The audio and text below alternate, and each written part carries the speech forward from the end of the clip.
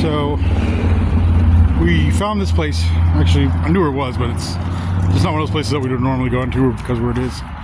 Uh, the guy is a former uh, school teacher and uh, teaches fly fishing. So he just gave Joseph a lesson, gave him a hat. We got a sticker on the car. He had a really good time. So we're going to come back here more. Just this is not a cheap sport. So looking forward to it.